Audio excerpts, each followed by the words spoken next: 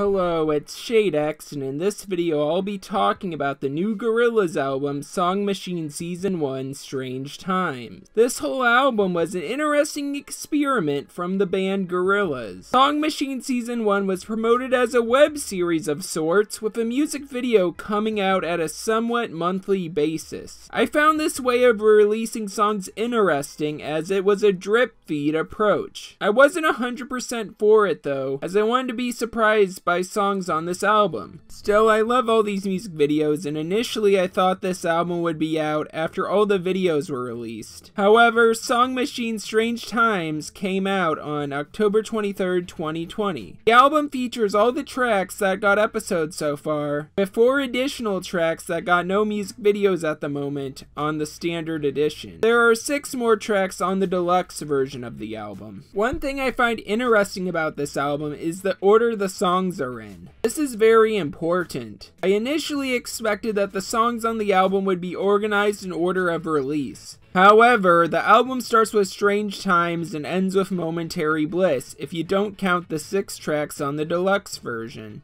The order of songs is very important on an album, and the fact that the album version of Song Machine has them organized this way changes the whole experience in a good way. This video is somewhat of a review, but I won't get all analytical about the lyrics.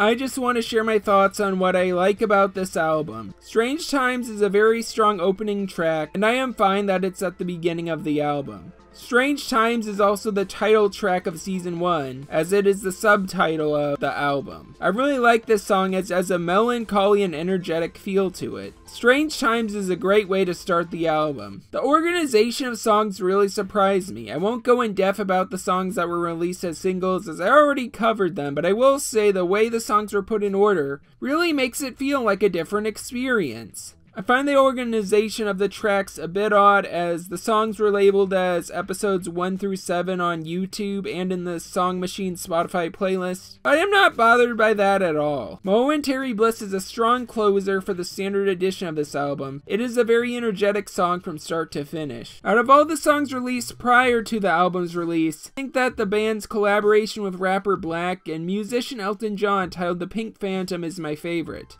But overall, I really enjoyed all the Song Machine songs and videos that came out all throughout the year. But I know why everyone here clicked on this video, as you all want to hear my opinions on the new songs. So I'll go over them to close this video. The second track of this album is titled The Valley of the Pagans, and it features popular musician Beck. It is a very fun song. It starts out slow at the start, which is not a bad thing at all. However, towards the end it gets really fast and energetic. This is a great Gorilla song and another great collaboration with a well-known artist. Song Machine Season 1 has a lot of great well-known musicians involved, which is one thing that really makes this a great Gorillaz album. The third track is titled The Lost Chord and features musician Leee John. It is a decent R&B track. Track 5 is titled Chalk Tablet Towers and it features musician St. Vincent. It's a really upbeat song with serious subject matter as 2D and St. Vincent sing in unison about how they want to get drunk and stoned. It is a song about a breakup with a drug theme. Track 8 is titled Dead Butterflies and it features rapper Kano and musician Roxani Arias, who makes her big debut on this album.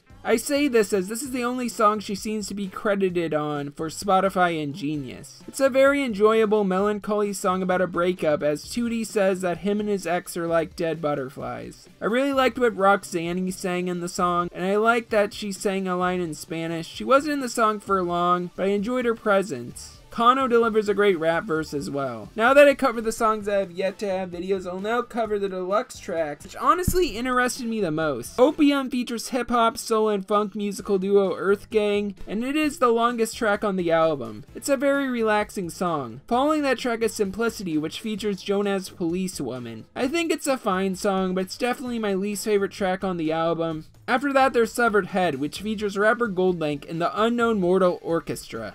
This song has an ominous techno feel to it. I really like this track. Following that is With Love to an Ex, which features Moonchild Sanelli. I was aware of this track because she let it slip that she did a song with Gorillaz long before Song Machine came out. It's an okay track. It just features Moonchild Sanelli in the vocals. I don't hate the track, but it's not fantastic or anything. Finally, there is the track MLS, which is the last song that hasn't been released prior. Final track on the album is How Far, which I already covered as it was released early after Tony Allen's passing. I was excited about MLS because I saw the song featured JPEG Mafia, who is a rapper I recently got into. While there are no 2D vocals, this is still a great song, and it is still a Gorillaz song.